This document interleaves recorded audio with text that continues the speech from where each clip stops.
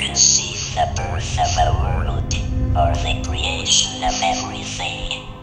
Creation takes time. Time is limited for you and is limited by the breakdown of the neurons in your brain.